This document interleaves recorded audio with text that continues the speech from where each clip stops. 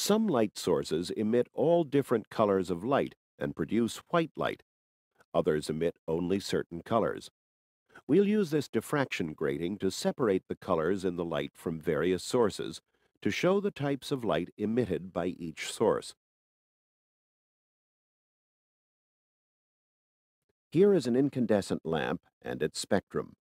Notice that the spectrum is continuous and includes light of many different colors.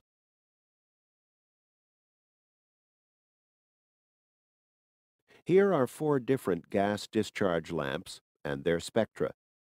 This time only certain specific colors are present in the light from each lamp.